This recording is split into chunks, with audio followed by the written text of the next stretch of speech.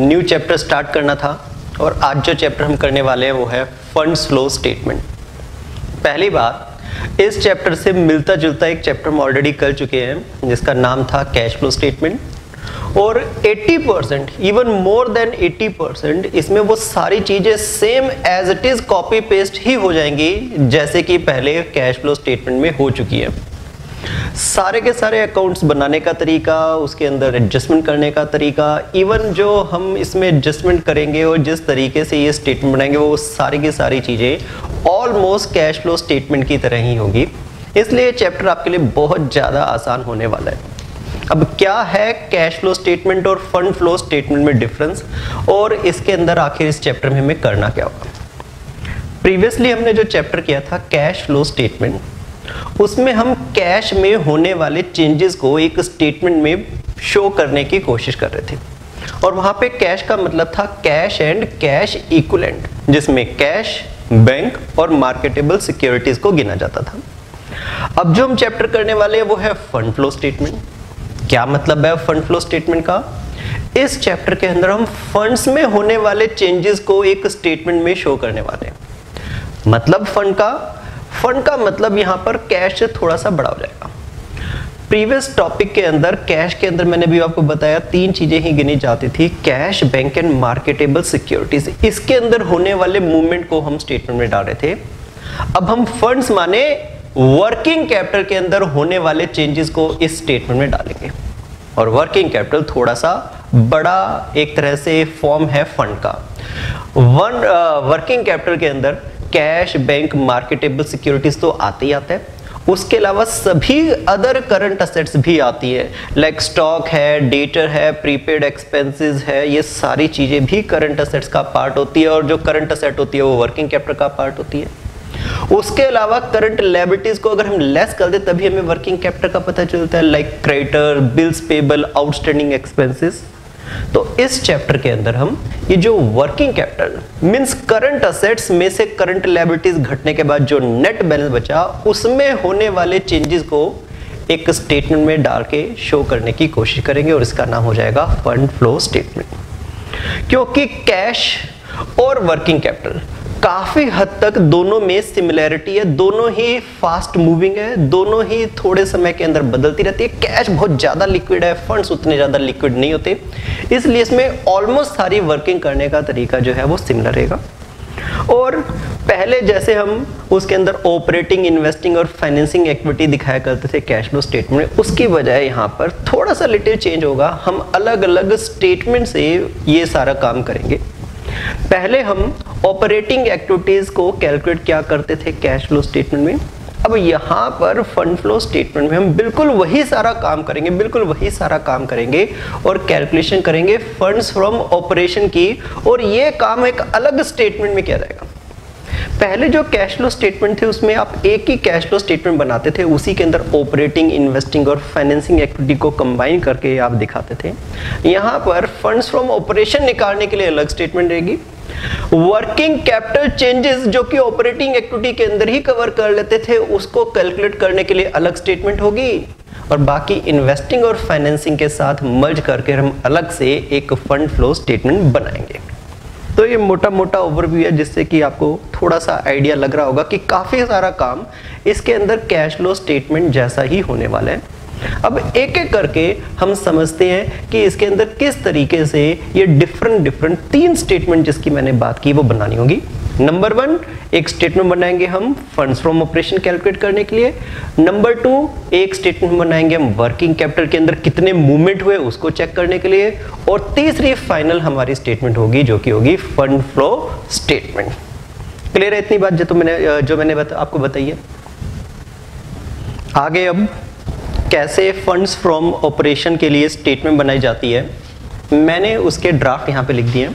और आपके नोट्स में भी पेज नंबर 22, 23, 24 अगर आप चेक करेंगे तो वहाँ पे सारे के सारे फॉर्मेट्स आपको मिल जाएँगे। पहला जो फॉर्मेट मैं डिस्कस करने वाला हूँ वो है calculation of funds from operation calculate करने के लिए। और इसे दो तरीके से आप कैलकुलेट कर सकते हैं। दोनों ही बिल्कुल एक ही जैसे कंसेप्ट पे बेस्ड हैं। पहला जो फॉर्मेट है, उसके अंदर आप जैसे कैश फ्लो स्टेटमेंट में एक ऑपरेटिंग एक्टिविटीज़ के अंदर इंफॉर्मेशन लिखते थे, बिल्कुल वैसे ही फॉर्मेट में इंफॉर्मेशन को लिखा गया है। दूसरा एक प्रॉफिट एंड लॉस अकाउंट के फॉर्मेट में भी आप cash flow cash from operation जो है वो निकाल सकते हैं। कैश नहीं, बल्कि फंड्स फ्रॉम ऑपरेशन जो है वो निकाल सकते हैं। इसके लिए आप प्रॉफिट एंड लॉस अकाउंट में थोड़ी सी एडजस्टमेंट करेंगे, जिसके लिए नाम कर दिया जाएगा adjusted profit and loss account जो कि आपको फंड्स फ्रॉम ऑपरेशन की कैलकुलेशन करवाएगा। सबसे पहले, ये जो statement for funds from operation है, उसको समझ लेते हैं। ये आपको statement exactly cash from operation निकालने के लिए जो बनाई थी, बिल्कुल उसी फॉर्मेट में और वही सारी की सारी इंफॉर्मेशन एज इज़ यहाँ पे डाली गई है। सिर्फ़ कुछ एक चीज़ें यहाँ पर एक्स्ट्रा आई हैं और वो चीज़ें जो एक्स्ट्रा आई हैं, वो हैं जो कि आप अलग से नोट्स में बनाया करते थे। अलग से आप एक नोट वन बनाया करते थे, जिसमें नेट प्रॉफिट आफ्टर टैक्स के बाद डिविडेंड टैक्स और रिज़र्व की एडजस्टमेंट क्या करते थे? बस वो नोट बनाने की आवश्यकता यहाँ पे खत्म हो गई और उन एडजस्टमेंट को भी हमने यहाँ पर फंड्स फ्रॉम ऑपरेशन की कैलकुलेशन में सीधा सीधा ही यूज़ कर लिया गया। क्या क्या चीज़ें यहाँ पे एक बार फिर से देख लेते हैं। पहले ऑलरेडी हमने कैश फ्लो स्टेटमेंट में ये एज इज़ लिखा था। सबसे पहले शुरुआत net profit for the year से हमारी होगी। वहाँ पर आप लिखा करते थे नेट प्रॉफिट आफ्टर टैक्स यहाँ पर net profit for the year से हमारी शुरुआत होगी। फिर आप चीज़ें ऐड और लेस करते थे। जो भी नॉन कैश आइटम आप वहाँ पर आती थी, उनको यहाँ पर ऐड करते थे। नॉन कैश एक्सपेंस जितने भी होते थे, सबको यहाँ पे ऐड करते थे। अब फंड्स फ्रॉम ऑपरेशन में भी रियलिटी में नॉन कैश क्योंकि part of the working capital तो है ही है। कैश खुद ही अपने आप में वर्किंग कैपिटल का पार्ट है। इसलिए वो सारी की सारी चीज़ें जो नॉन कैश हुआ करती थी ऐड वो अभी भी ऐड ही होंगी, क्योंकि कैश भी पार्ट ऑफ़ वर्किंग कैपिटल है और यहाँ पे वर्किंग कैपिटल का ही चेंज जानने की कोशिश कर रहे हैं। इसलिए ये सारे के सारे नाम, पहले वाले ही नाम है, like depreciation written off goodwill written off preliminary expenses written off under commission discount on issue of debenture expense on share या debenture loss on sale of fixed interest paid dividend paid ये सारे के सारे नाम cash flow statement में as is आया करते थे। कुछ नए नाम जो यहाँ पे आ गए, उनकी बात कर लेते हैं। एक है transfer to reserve and tax transfer to reserve and fund और दूसरा provision for tax even dividend paid ये तीन नाम यहाँ पे आए हैं। ये तीनों नाम पहले भी आते थे कैश फ्लो स्टेटमेंट में, लेकिन वो अलग से नोट में आते थे। उस नोट की रिक्वायरमेंट खत्म हो गई इसलिए वो सारी एडजस्टमेंट सीधा सीधा यहाँ पर हो गई है, बाकी सारा काम सेम है। फिर लेस लेस भी जो पहले करते थे, वही कर रहे हैं। Profit from sale of fixed आपको याद होगा कैश फ्लो स्टेटमेंट में माइनस करना पड़ता था। Interest rent and dividend receive investing activity में जाके क्योंकि प्लस होना होता था, यहाँ पे माइनस करना पड़ता था। फिर ये refund of tax transfer from reserve और ये दो चीज़ें जो आ गई हैं, ये सिर्फ़ हमें अलग से नोट में एडजस्ट करनी पड़ती थी। अब नोट की रिक्वायरमेंट खत्म हो गई, इसलिए यहीं पर एडजस्ट कर लेंगे। और अदर नॉन करंट आइटम अगर कोई भी ऐसी नॉन करंट इनकम है या फिर नॉन ऑपरेटिंग इनकम है, जिसे किसी दूसरे हेड के अंदर जाना होता था ऑब्वियसली पहले भी उसे माइनस करते थे, अभी भी हम इसे माइनस करेंगे। और उसके बाद आपका जवाब आ जाएगा नेट्स फंड्स फ्रॉम अगर जवाब पॉजिटिव में तो लिखेंगे नेट फंड्स फ्रॉम और अगर जवाब नेगेटिव आ गया तो बोलेंगे लॉस्ट इन ऑपरेशन इसके बाद फिर वर्किंग कैपिटल चेंजेस का भी काम आप कैश फ्लो स्टेटमेंट में करते थे, यहाँ पर उस चीज़ को अलग से स्टेटमेंट में बनाया जाएगा, जिसको भी थोड़ी देर में मैं डिस्कस करूँगा। तो फ़िलहाल यहाँ पे हमारी पहली स्टेटमेंट जो कि आधी है एक तरह से operating activity of cash flow statement cover हो गई है। इसी का बिल्कुल एक तरह से रेप्लिका ही समझ लीजिए कि आपका ये adjusted profit and loss account है, जो कि फंड्स फ्रॉम ऑपरेशन या फंड्स लॉस्ट इन ऑपरेशन निकालने में आपकी हेल्प कर सकता है। सबसे पहले अगर आप यहाँ पे ध्यान से देखें तो हमें net profit for the year चाहिए होता है। और अगर हम बैलेंस शीट में ओपनिंग और क्लोजिंग का डिफरेंस निकाले तो net profit for the year बन जाएगा। आप ordinary profit and loss appropriation या प्रॉफिट एंड लॉस अकाउंट की तरह से शुरुआत करें तो ये आपका ओपनिंग बैलेंस है और ये आपका क्लोजिंग बैलेंस है। तो जब closing balance minus opening balance करते हैं तो रियलिटी में इसका डिफरेंस नेट प्रॉफिट बन जाता है। तो ये एक तरह से आपको क्या शो कर रहा है? ये शो कर रहा है कि यहाँ पर इन दोनों का डिफरेंस बन गया है नेट प्रॉफिट अब ये net profit opening minus closing हमारा आ गया। तो जो कुछ भी यहाँ पर ऐड uh, करना है। ऑब्वियसली ये सारी की सारी चीज़ें जो ऐड होनी है वो इस नेट प्रॉफिट में ऐड होनी है।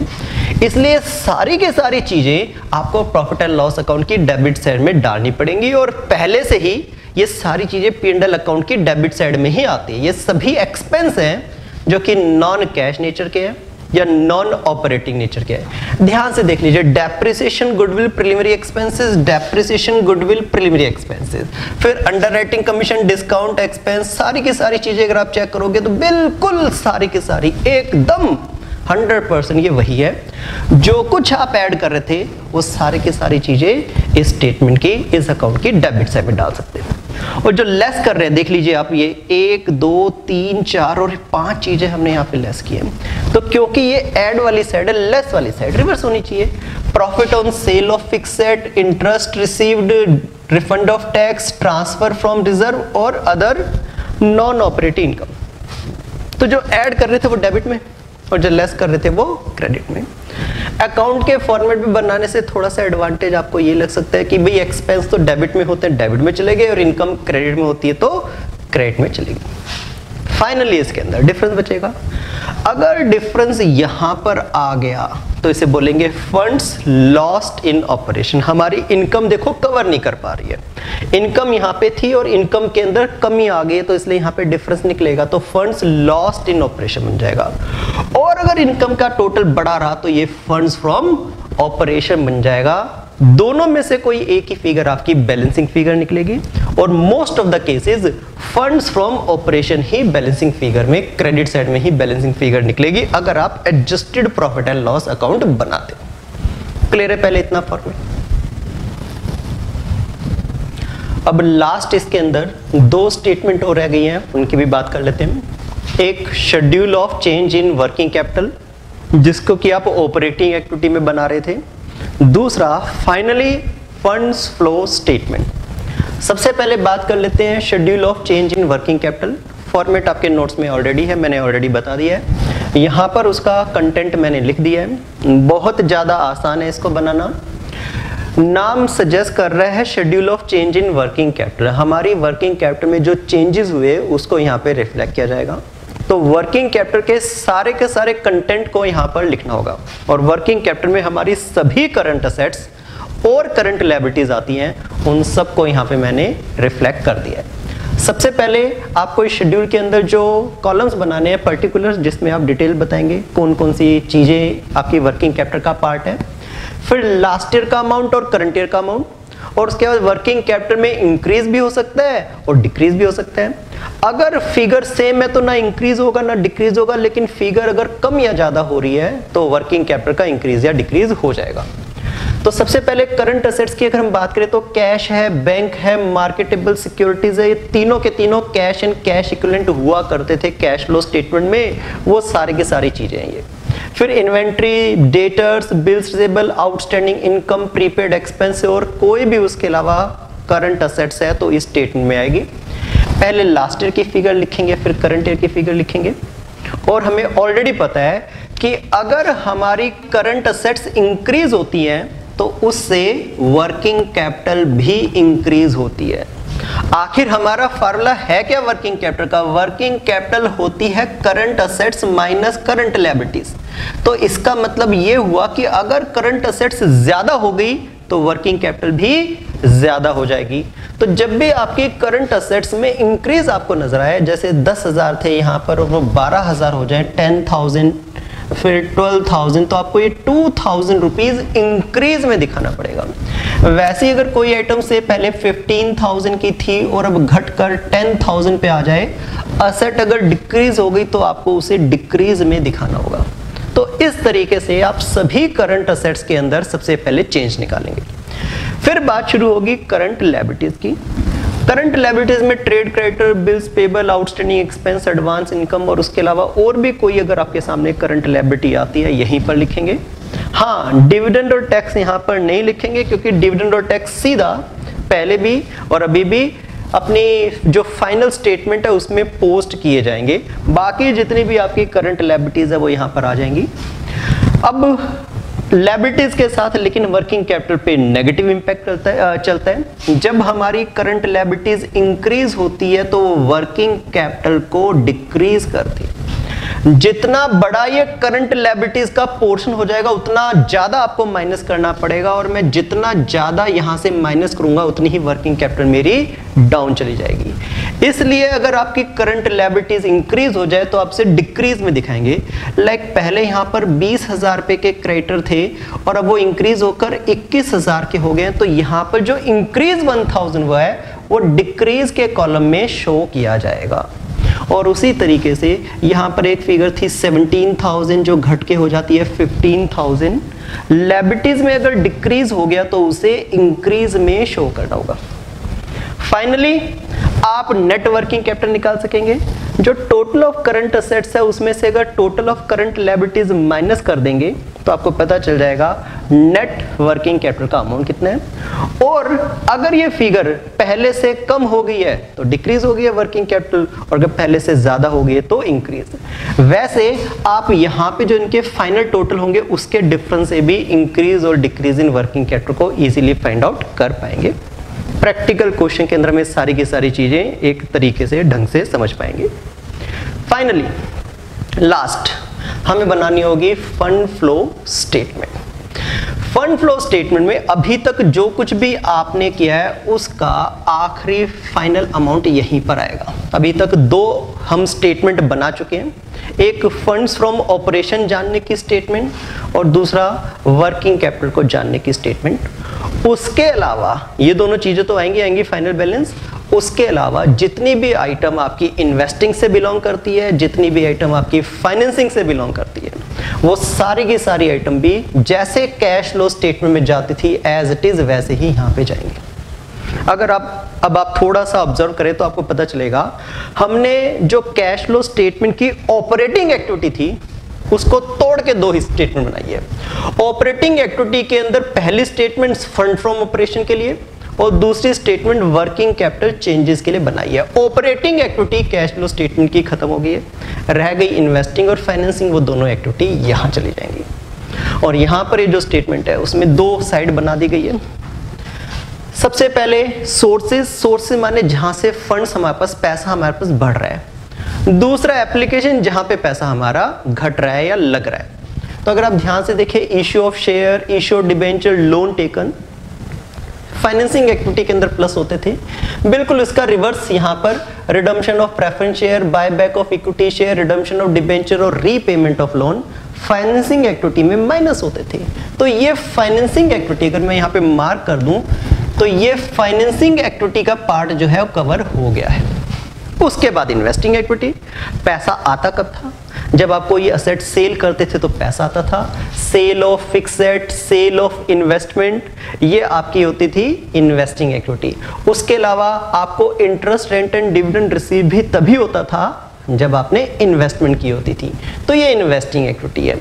हाँ उसी के अंदर अगर हम असेट खरीद लेते हैं इन्वेस्टमेंट खरीद लेते हैं। तो हमारा कैश चला जाता था तो वो एप्लीकेशन एप्लीकेशन का मतलब है पैसा जा रहा है सोर्सेज का मतलब है पैसा आ रहा है। इसे मैं मार्क कर देता हूँ, आपको एग्ज़ाम में ऐसा नहीं लिखना है।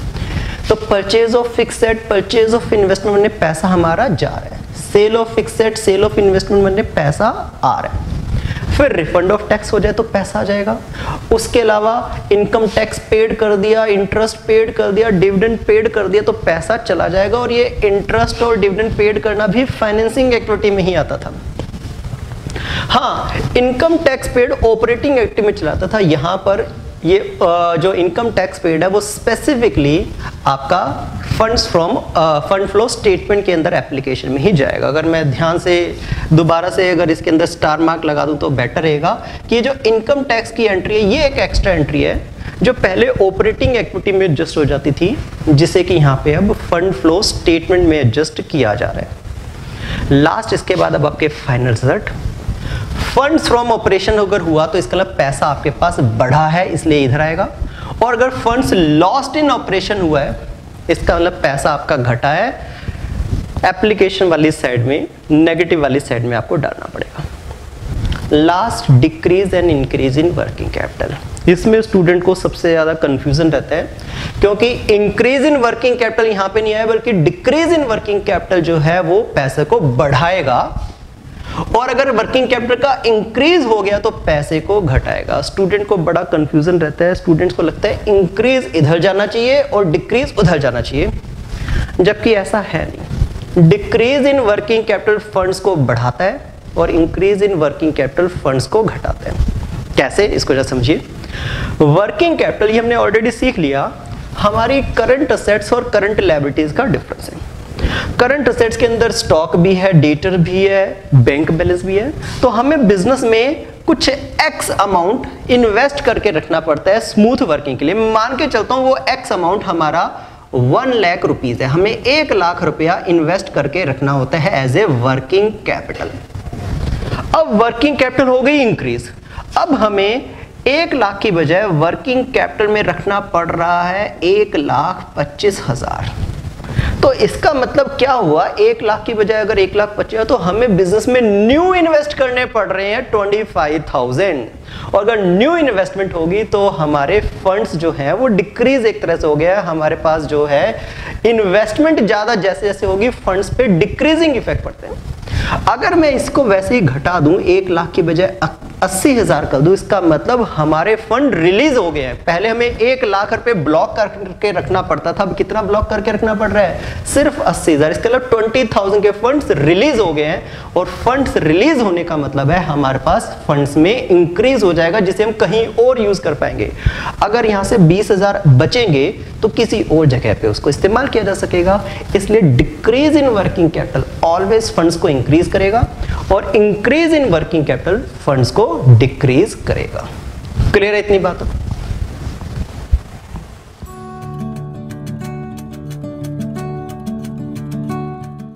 नेक्स्ट अब क्वेश्चन नंबर टू करने वाले हैं। सिमिलर है क्वेश्चन नंबर वन से बट इसके अंदर थोड़े रिज़र्व है थोड़ा सा इसके अंदर टैक्स का ट्रीटमेंट आ गया। जो हमारे लिए जाना पहचाना है कैश फ्लो स्टेटमेंट में जो ट्रीटमेंट क्या, वैसा ही ट्रीटमेंट होगा। देखते हैं क्वेश्चन की इंफॉर्मेशन असेट साइड के अंदर अगर आप देखें, सबसे पहले आपको गुडविल नज़र आ रही है, जिसके अंदर वैल्यू डिक्रीज हो गई है। पहले वैल्यू 2018 में वन लैख फिफ्टीन थाउज़ेंड थी, जो कि अब घट कर नाइन्टी थाउज़ेंड हो गई है। हमें ऑलरेडी पता हुआ है ये बात का पता है कि गुडविल कभी भी अगर डिक्रीज होती है तो उसे राइट ऑफ़ माना जाता है, उसे कभी भी सेल नहीं माना जाता। हम कभी भी रनिंग बिज़नेस की गुडविल को सेल नहीं करते हैं। और राइट ऑफ़ करने का काम पीएनडल के थ्रू होता है। क्योंकि एसेट डिक्रीज हो गया किसी भी एसेट में होने वाला डिक्रीज या तो ऐड होता है या तो पीएनएल अकाउंट की डेबिट साइड में। अगर आप स्टेटमेंट फॉर्मेट बना रहे हैं तो ऐड करेंगे और अगर आप इसे अकाउंट के फॉर्मेट में बना रहे हैं तो डेबिट साइड में रिफ्लेक्ट करेंगे। तो यहाँ पे लिखने वाले हैं goodwill written off adjusted PNL account की डेबिट साइड में ट्वेंटी फाइव थाउज़ेंड नेक्स्ट उसके बाद मशीनरी आ गई। मशीनरी के अंदर हुई है कमी।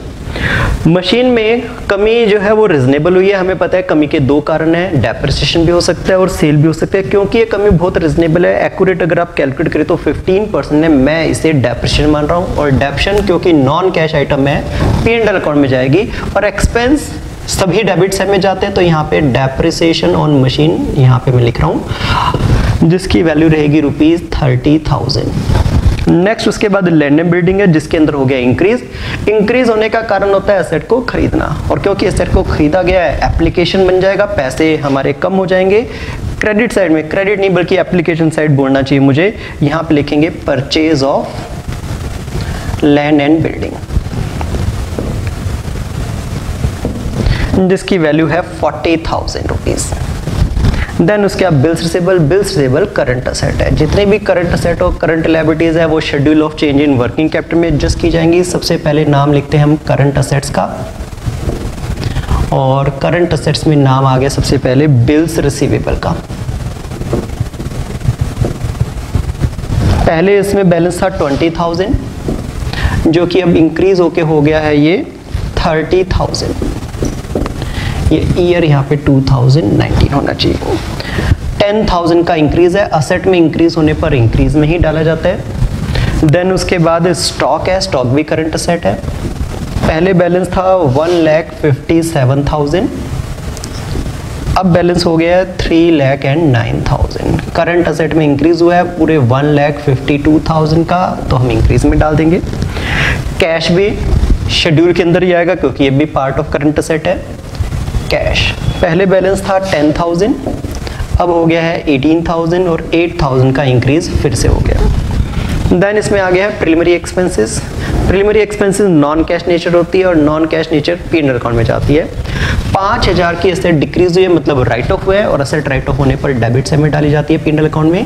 Preliminary expenses rupees five thousand फिर उसके बाद अब लाइबिलिटी साइड शुरू होगी है। सबसे पहले share capital share capital finance से सीधा सीधा जुड़ा हुआ है और इसमें हमारा पैसा बढ़ गया है। इसलिए सोर्स कहलाएगा issue of shares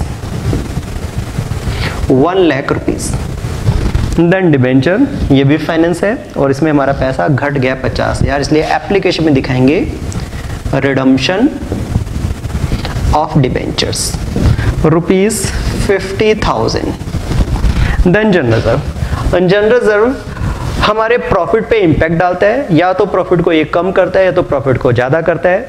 जब भी कोई लाइबिलिटी इंक्रीज होती है, और अगर उसे प्रॉफिट एंड लॉस में रिफ्लेक्ट किया रहा है तो उसे एक्सपेंस की तरह ट्रीट करना पड़ता है। असेट डिक्रीज होती है, तब भी वो एक्सपेंस की तरह ट्रीट होती है और डेबिट से में जाती है और लाइबिलिटी इंक्रीज जब होती है, तब भी वो एक्सपेंस की तरह ट्रीट होती है। क्योंकि जब कोई लाइबिलिटी इंक्रीज होती है तो उससे हमारे प्रॉफिट पे नेगेटिव इंपैक्ट पड़ता है। तो जनरल रिज़र्व हमारा इंक्रीज हो गया, आप अगर ध्यान से याद करें तो कैश फ्लो स्टेटमेंट में भी जब हमारा कोई रिज़र्व इंक्रीज होता था तो हम उसे नेट प्रॉफिट में ऐड करते थे। सिमिलर वे में ऐड करने का काम, क्योंकि यहाँ पे पिंडल की डेबिट साइड से होता है, आपकी लाइबिलिटी में हुआ इंक्रीज हम कर देंगे इसे add increase in general reserve general reserve और ये यहाँ पे जो इंक्रीज हुआ है, वो थर्टी थाउज़ेंड का तो थर्टी थाउज़ेंड यहाँ पे रिफ्लेक्ट कर देंगे। प्रॉफिट एंड लॉस से हमें नेट प्रॉफिट का पता चलेगा। क्रेडिट साइड में यहाँ पे लिखेंगे सबसे पहले बाय बैलेंस बीडी जिसकी वैल्यू रहेगी रुपीज़ सेवेंटी टू थाउज़ेंड और डेबिट साइड में लिखेंगे टू बैलेंस सी डी जिसकी वैल्यू हमारी रहेगी rupees ninety eight thousand next उसके बाद इसमें आ गया है क्रेडिटर क्रेडिटर तो करंट लाइबिलिटीज है।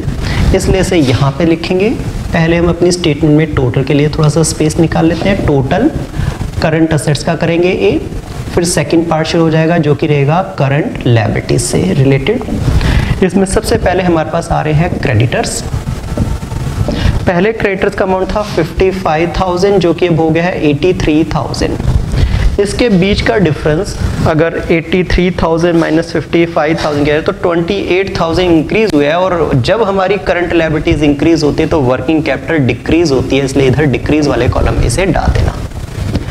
नेक्स्ट उसके बाद अगला नाम इसमें आ गया है हमारा बिल्स पेबल ये भी करंट लाइबिलिटीज है। बिल्स पेबल में पहले 20,000 बैलेंस था। अब घट के 16,000 है तो 4,000 क्योंकि लाइबिलिटी डिक्रीज हुई है हम वर्किंग कैपिटल को इंक्रीज कर देंगे। आखिरी है टैक्स टैक्स के बारे में हमने ऑलरेडी सीख लिया है डिविडेंड के बारे में सीख लिया है कैश फ्लो स्टेटमेंट के चैप्टर में कि ये चीज़ें डिफरेंस में डील नहीं की जाती बल्कि दोनों ही चीज़ों को स्टेटमेंट में डाला जाता है। एक प्लस और एक माइनस तो जो करंट ईयर का टैक्स है, उसकी पेमेंट हमें अगले साल करनी होगी और करंट ईयर के टैक्स ने हमारे प्रॉफिट को डिक्रीज कर दिया होगा, इसलिए हम उसके अंदर वापस ऐड करने की कोशिश करेंगे। या फिर क्योंकि ये हमारे लिए एक्सपेंस की तरह बुक किया होगा तो अगर एडजस्टेड पी अकाउंट बना रहे तो उसकी डेबिट हमें दिखा देंगे provision for tax current year की फिगर हमारी टैक्स की है एटी थाउज़ेंड और लास्ट ईयर का टैक्स हमें पेड करना होता है। पेड करेंगे तो पैसा हमारा घटेगा। पैसा बढ़ाने के लिए सोर्सेज और घटाने के लिए एप्लीकेशन को यूज़ करते हैं। इसलिए यहाँ पे लिखेंगे टैक्स पेड लास्ट ईयर का टैक्स हमारा है साठ हज़ार। ये पूरा का पूरा कंसेप्ट कैश फ्लो स्टेटमेंट में ऑलरेडी डिस्कस हो चुका है। इसलिए मैं दोबारा से यहाँ पे उसे डिस्कस नहीं कर रहा हूँ। तरीका बिल्कुल वही है, एक प्लस और एक माइनस जो कुछ भी डेबिट साइड में यहाँ पे जा रहा है, वो प्लस के इक्वलेंट है और जो कुछ भी क्रेडिट साइड में यहाँ पे जाएगा, वो माइनस के इक्वलेंट है। चलिए ये सारा काम करने के बाद अब इसके टोटल करना शुरू करते तो उधर अगर कैश एडजस्टेड पेंडल का टोटल करें तो 25,000 है फिर 30,000 है फिर 5,000 30,000 80,000 और फिर 98,000 two lakh sixty eight thousand यहाँ पे वैल्यू आ गई है। उसमें से अगर 72,000 माइनस कर दे तो one lakh ninety six thousand हमारे पास आ जाएगा बाय फंड्स फ्रॉम ऑपरेशन और इसे हमने पता लगाया बैलेंसिंग फिगर जो फंड्स फ्रॉम ऑपरेशन होते हैं, वो पैसे बढ़ाते हैं, इसलिए आपको सोर्स में भी दिखाना पड़ेगा funds from operation one lakh ninety six thousand अब हम वर्किंग कैपिटल के टोटल कर लेते हैं। तो पहले अगर 2018 का टोटल करें 20,000, 1 lakh fifty seven thousand and ten thousand ये हो गया one lakh eighty seven thousand उधर thirty thousand thirty nine thirty thousand उसके बाद है इसमें three lakh and nine thousand और उसके बाद फिर eighteen thousand three lakh fifty seven thousand liabilities का टोटल कर लेते हैं। टोटल जिसको कि बी नाम दे दिया जाएगा 75,000 तो ये हो गया। और 83 प्लस 16 अगर कर दें तो 99,000 इधर हो गया। वर्किंग कैपिटल की बात कर लेते हैं। वर्किंग कैपिटल कैसे निकलेगी? वर्किंग कैपिटल रहेगी हमारी ए माइनस बी अगर आप करंट असेट्स में से करंट लेबिलिटीज को माइनस कर दे तो वर्किंग कैपिटल का पता चल जाएगा। और फाइनली उसके बाद हम इंक्रीज या डिक्रीज की बात कर पाएँगे। One lakh eighty seven thousand में से अगर सेवेंटी फाइव थाउज़ेंड माइनस कर दें तो ये हो गया एक लाख बारह हज़ार। उधर three lakh fifty seven thousand में से माइनस करें नाइन्टी नाइन थाउज़ेंड तो हो गया two lakh fifty eight thousand साफ़ पता चल रहा है कि हमारी वर्किंग कैपिटल इंक्रीज हो गई है। कितनी इंक्रीज हुई है? डिफरेंस निकाल लेते हैं। डिफरेंस निकालने पर one lakh forty six thousand आ गया। दो लाख अट्ठावन हज़ार से टैली हो गया ये।